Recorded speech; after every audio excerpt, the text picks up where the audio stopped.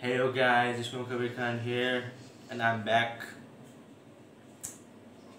একটা দুই বাজে তো আমি যেহেতু রমজান মাস তো বসে বসে আমি আমার ইউটিউবের ভিডিও এডিট করতেছিলাম তো হঠাৎ চা খেতে ইচ্ছে করতেছিল তাই আপনাদের সবার প্রিয় কাঞ্জিনা আপুকে বললাম চা বানিয়ে দিতে এবং দিয়েছে ট্রাই করে দেখি। অবাক যদি চা ভালো লেগে থাকে তাহলে আই থিঙ্ক আমি ওনাকে রিকোয়েস্ট করব যাতে ওনার নেক্সট ভিডিওতে তিনটা চায়ের রেসিপি দিতে। Okay let's try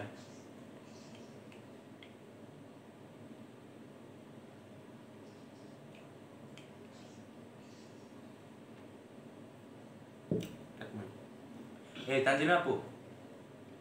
hello hello কি you busy yes watching Netflix or what?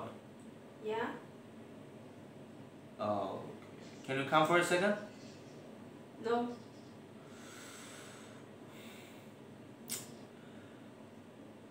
চায়ে চিনির বদলা লবণ দিয়ে দিছে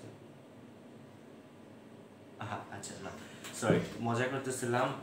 অসাধারণ একটা চা হয়েছে তো হ্যাঁ যেটা প্রমিস করেছিলাম আমি ওকে রিকোয়েস্ট করব যাতে ওর নেক্সট মানে রিকোয়েস্ট করতেছি কারণ ভিডিওটা ও দেখবে না যে আমি রেকর্ড করতেছি, কারণ সে আসে নাই। ও জানেও না আমি রেকর্ড করতেছি। সো আমি নিজ দায়িত্বে নিজের চ্যানেল মনে করে ওর চ্যানেলে ভিডিওটি আপলোড দিয়ে দিব। আর যখন দেখবে,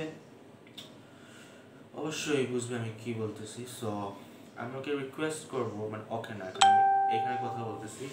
তো তানজিনা আপু, আমি রিকোয়েস্ট করতেছি তোমাকে যাতে তুমি তোমার নেক্সট ভিডিওতে তিনটি চায়ের রেসিপি দাও। i'm eager to see the video.